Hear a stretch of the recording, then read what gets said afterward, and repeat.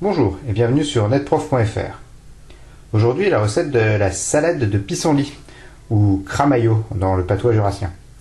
Alors pour commencer il vous faut des pissenlits. Euh, J'en ai très peu ici.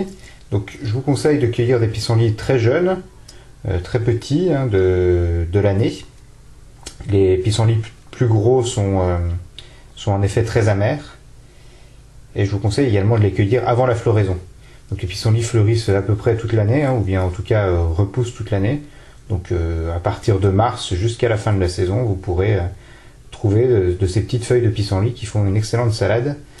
C'est une spécialité jurassienne que je vais vous montrer. Donc on commence par très bien laver les pissenlits hein, à l'eau vive, faut pas hésiter. Et on peut également, lors du dernier bain, les laisser tremper une petite dizaine de minutes avec un peu de vin qui les raffermisse. Je les ai lavés plusieurs fois. Et j'ai ôté euh, les tiges euh, et les racines, vous voyez, ou puis évidemment les mauvaises herbes. Euh, donc les tiges et les racines sont comestibles, hein, mais elles apportent souvent un peu trop d'amertume, donc c'est pour ça qu'on les ôte. On prépare ensuite les œufs, donc soit mollets, soit durs, donc on les laisse entre 10 et 15 minutes à partir du moment où l'eau a commencé à bouillir. On les mettra ensuite à refroidir dans l'eau froide avant de les éplucher en toute sécurité pour les intégrer à la salade. On prépare ensuite la vinaigrette. Alors euh, faites-la à votre goût. hein. Moi je l'aime euh, plutôt vinaigrée, ça va très bien avec euh, les cramaillots. Pour ça, donc du vinaigre de cidre, de la moutarde de Dijon au vinaigre, un peu d'huile végétale, ici olive et colza.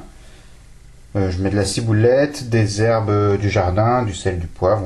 Ça va très bien aussi avec l'ail ou les échalotes.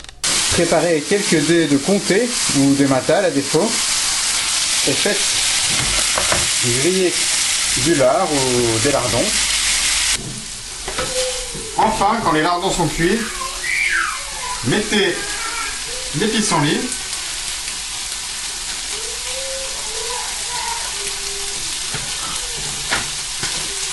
Et agitez toujours hein, pendant maximum une minute.